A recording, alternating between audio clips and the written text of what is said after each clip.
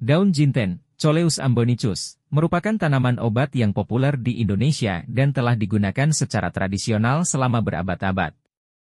Daun ini kaya akan berbagai senyawa bioaktif, termasuk flavonoid, saponin, dan minyak atsiri, yang memberikan berbagai manfaat kesehatan.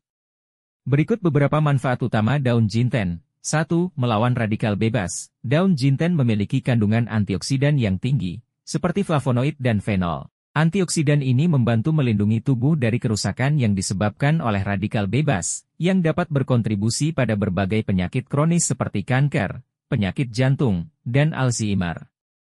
2. Meningkatkan sistem kekebalan tubuh. Daun jinten dapat membantu meningkatkan sistem kekebalan tubuh dengan meningkatkan produksi sel darah putih dan meningkatkan aktivitas antibodi. Hal ini dapat membantu tubuh melawan infeksi dan penyakit dengan lebih efektif. 3. Meredakan peradangan, daun jinten memiliki sifat antiinflamasi yang dapat membantu meredakan peradangan di tubuh.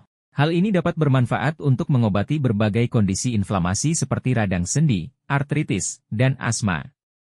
4. Menjaga kesehatan pencernaan, daun jinten dapat membantu menjaga kesehatan pencernaan dengan meningkatkan nafsu makan, melancarkan pencernaan, dan meredakan gejala pencernaan seperti sakit perut, diare, dan sembelit. 5. Menjaga kesehatan kulit. Daun jinten dapat membantu menjaga kesehatan kulit dengan sifat antibakteri dan anti jamurnya. Daun ini dapat digunakan untuk mengobati jerawat, infeksi kulit, dan luka. 6.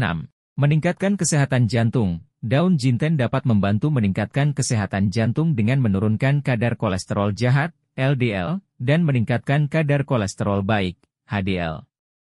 Hal ini dapat membantu mengurangi risiko penyakit jantung. 7. Membantu menurunkan berat badan. Daun jinten dapat membantu menurunkan berat badan dengan meningkatkan metabolisme dan membakar lemak.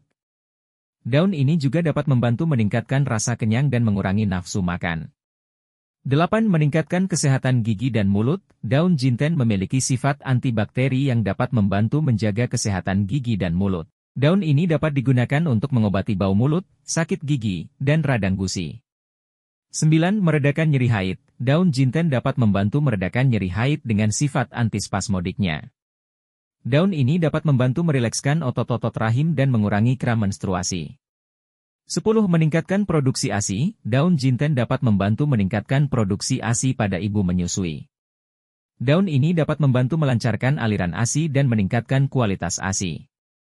Daun jinten dapat dikonsumsi dengan berbagai cara, seperti direbus, dibuat jus, dibuat teh, atau ditambahkan ke dalam masakan. Konsultasikan dengan dokter sebelum menggunakan daun jinten, terutama jika Anda sedang hamil, menyusui, atau memiliki kondisi kesehatan tertentu.